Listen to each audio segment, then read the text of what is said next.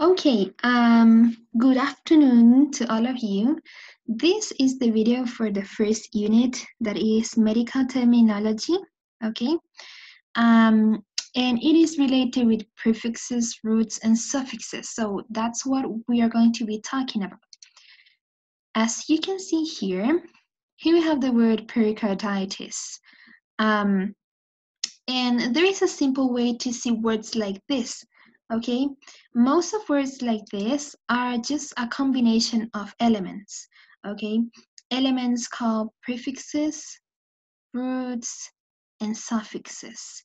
So today we are going to see in depth these three elements. Hoy día vamos a hablar un poquito más acerca de estos tres elementos que se combinan y forman palabras como esta. Um, okay, so we're going to start with the first element that goes at the beginning, right? That is the prefix. And there are three things that we need to know about prefixes. The first one is that they go before the root word, okay? Or in other words, they go at the beginning of the word. Entonces van antes de la raíz o en otras palabras van al principio de la palabra. Number two, you also have to know that they describe location and intensity. Okay, they general, generally describe that.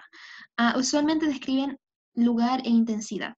And number three, not all medical terms have prefixes. So most of them have but not all of them. Um, just something that you need to know is that we are talking in general terms, okay? Estamos hablando en términos generales because as you know in English there are a lot of exceptions. En inglés siempre hay excepciones, pero vamos a hablar en, en general acerca de esto, okay? Okay, so um, to be easier for you, we have a way to classify prefixes, ¿ok? Hay una manera de clasificar los prefijos um, just to make it easy for you, solo para hacérselos un poquito más fácil, we can say that they can classify into size, for example, into rates, colors, place, and problems. Uh, size is related with tamaño, right? And we can have here like macro, that means large, como grande, right? Micro, that means small, pequeño. Megalo, that means enlarge, algo que se agranda, right? Then we have rates, for example, medidas, right? For example, hyper, como algo que es alto. Then we have hypo, algo que es bajo. Then we have tachy, something that is fast, algo que es rápido. We have brady, something that is slow, algo que es lento. And for example, tachycardia, right? Bradycardia. And then we have colors. Some prefixes are related with colors. Um, like chloro, that is related with color green, ¿no es cierto? Se relaciona con el color verde. Leuk, related with white, con el blanco. Eryth, related with red. Then we have cyan, related with blue, and so on, because we have more of them. Here are just some examples. And we also have prefixes related with place. Relacionados están algunos prefijos con lugares, right? Uh, like here, for example, we have endo and intra, that is uh, like inside of something, que está como eh, dentro de, right? Endo or intra, los dos significan dentro de. Then we have extra, that is outside, totally the opposite, right? Extra, afuera, totalmente opuesto a esto. Then we have uh, inter, that means between, ¿no es cierto? En medio de, inter. Then we have peri, that means around, alrededor, peri. We have trans, that means across, como a través de, right? That is trans. And we have some prefixes related with problems, for example, this, and we also have ma, so this means that it, something is not working properly, da la idea, ¿no es cierto? O significa que algo no está trabajando apropiadamente. And we also have mal, that means bad, right? Como algo que está malo, Let, us say that, okay? Um, so that's about prefixes and something else that you need to know is that prefixes precede a hyphen. This is a hyphen, un guión, right? So all prefixes go before the hyphen.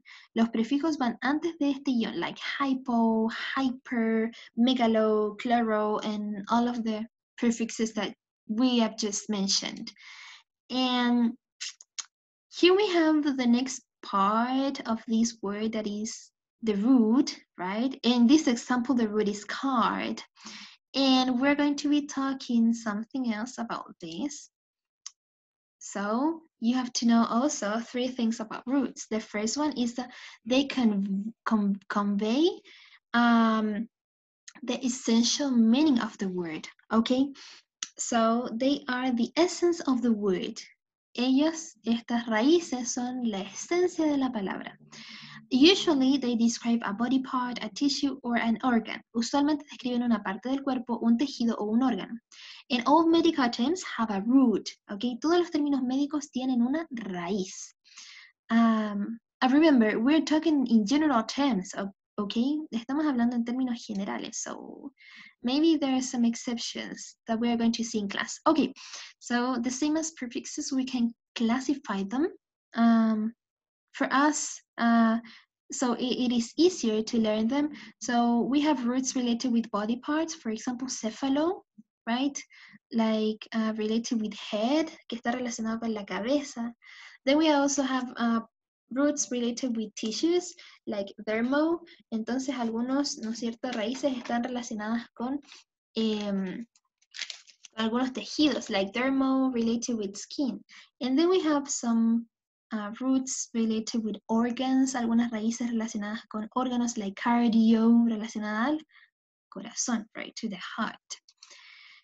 And well, you have to know that there are some rules to combine roots. Hay algunas reglas para combinar estas raíces.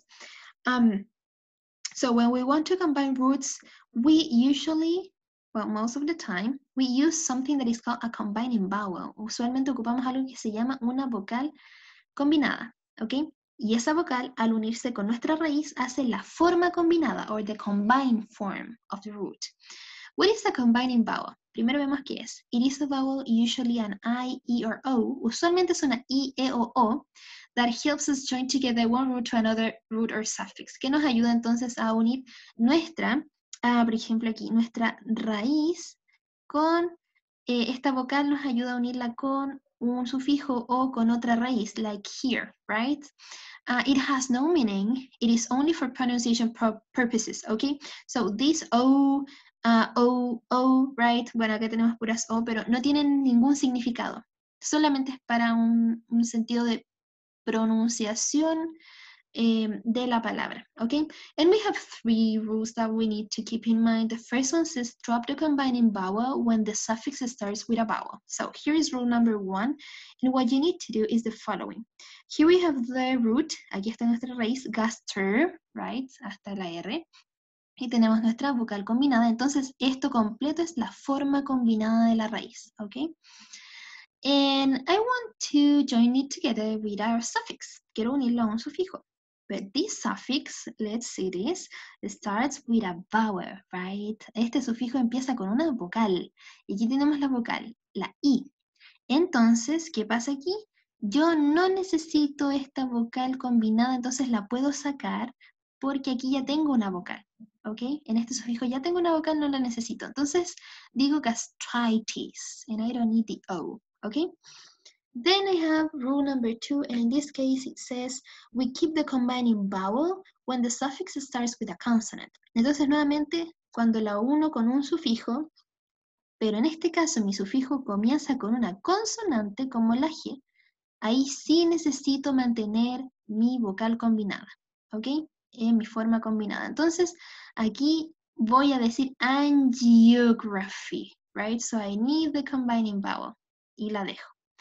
And then I have rule number three, you always use the combining vowel between two roots, uh, whether the next one starts with a vowel or with a consonant. Entonces siempre dejamos esta forma combinada, dejamos esta vocal aquí, cuando uno una raíz a otra raíz, ¿ok?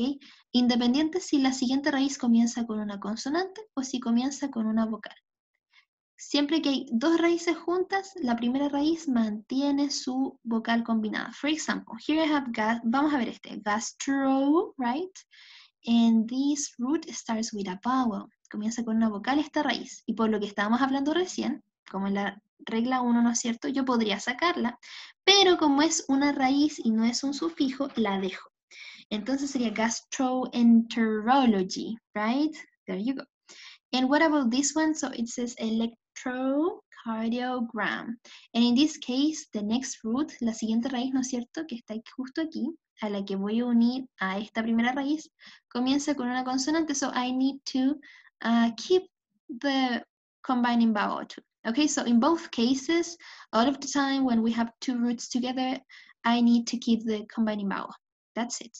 So I can have electrocardiogram or gastroenterology, right? And that's most of it. And okay, so something else that you need to know is that roots have a slash. Okay, this is a slash. todas las raíces tienen un slash, where the connecting vowel attaches to it. Okay, donde se va a unir nuestra vocal combinada. So this is the combining form. Esta es la forma para poder combinarla. But the root actually is cardi.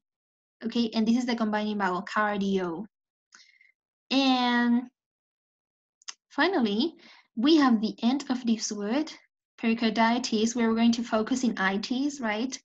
And this is what we call the suffix. And you need to also know three things about suffixes. The first thing is that suffixes, sorry, go at the end of the word.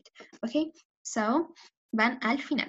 They describe usually a procedure, a condition, a disease, or a part of speech. Usualmente describen una, un procedimiento, condición, enfermedad o parte del lenguaje. And all medical terms have a suffix, okay? Todos los términos médicos tienen un sufijo. And eh, that's like a rule. All of them have a suffix, okay? Todos, todos tienen un sufijo. And we also can classify them into categories so it is easier for us to remember them. Así es más fácil recordarlos, right? Los podemos clasificar en categorías. The first one is surgery. So, here we have it. Sufijos relacionados a cirugía. For example, ectomy, that means removal. Remover, right? Plasty, that means repair. Reparar, lysis, that means separate something, separar algo. We also have some related with diseases. So we have, for example, itis, inflammation, inflammation, agia, um, um, related with a pain, right? Relacionado a dolor. Then we have oma related with tumors, tumores. Pinia related with abnormal reduction, que se relaciona con una reducción anormal de algo. And we also have parts of speech. So, uh, tenemos algunos sufijos que nos dicen que eh, esto es, es como la palabra que vamos a obtener va a ser un adjetivo o va a ser un sustantivo. ¿Ok? Ac, al, ari, os, ik, tik, and il are adjectives, son para formar adjetivos. Y todos estos que están aquí en azul significan pertaining to, perteneciente a. Okay? And then we have e and us that are to make nouns, que son para hacer sustantivos. And we also have the category of diagnostic procedures, entonces procedimientos de diagnóstico, right? Scope, palabras que terminan en scope that are related with uh, in this instrument for evaluation, for examination. And we also have scopy, right? Like the process of examination uh, relacionado a diagnósticos, a realizar diagnósticos. And then we have like other common suffixes. We uh, keep that here because they are uh, like known for most of the people. For example, we have logy, that is the study of, el estudio de, right? Uh, biology, psychology, and so on. We also have phobia related with the fear of, el, el, ah, I forgot it, como estar asustado de, ¿no es cierto? Um, arachnophobia, asustado a las arañas. Then we have philia, like love for or love of, como el amor hacia, right? And so all suffixes, uh, very similar to prefixes, uh, they uh, need to go together with a hyphen, right? Usualmente, como los prefijos van junto a un guión. But in this case, they follow the hyphen. Ellos siguen al guión. So they go after the hyphen. Entonces van después de este guión. A diferencia de los prefijos que van antes del guión, right? And finally, uh, you need to know this. So to read some medical terminology, we need to keep in mind that we need to start with the end of the word. Siempre comenzamos a leerlo desde el final. So we start reading here, itis, right? suffix inflammation. Entonces comenzamos con el final que sería inflamación. Then we go back to the beginning of the term. Y después nos vamos al principio. Y en el principio puede haber un prefijo o puede haber solamente una raíz. ¿Ok? En este caso hay un prefijo. Entonces yo me voy acá y leo, ok, este es el principio. Y me dice around, peri. Entonces inflamación alrededor de, inflammation around. Y luego continúo, ¿no es cierto? Entonces atrás, adelante y sigo la palabra eh, con lo que quede. Entonces tenemos card en este caso, that means heart. So this word means inflammation around the heart, right? Inflamación alrededor del corazón. And that's it. So as you can see, it's not that hard reading these type of words. You just only need to uh, study aloud the lists of um, prefixes, roots, and suffixes, and maybe you can classify them into categories so it is easier to remember. And you just uh, need to be careful with the combining vowels, right? Cuidado con las eh, vocales para combinar, que no significan nada, pero eh, si tienen que armar una palabra hay que tener cuidado. Por ejemplo, aquí no la necesitamos, ¿no es cierto? Porque el siguiente sufijo comienza con una vocal, así que podemos sacar el EO.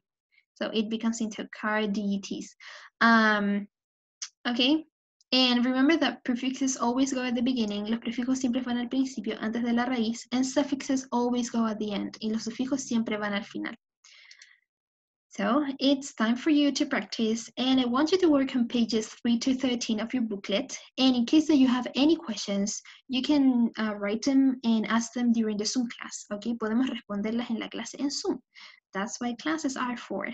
Um, so you have time to work on this. Uh, tienen tiempo para trabajar en estas páginas. Tienen aproximadamente dos a tres semanas para poder realizarlas todas, así que esto es más que nada para que puedan practicar lo que vayamos viendo en clases, ¿ok? Y también para que puedan hacerlo en sus tiempos de eh, clase asincrónica. Okay, so that's all for now, and any questions, as I said, uh, just ask them in class, okay?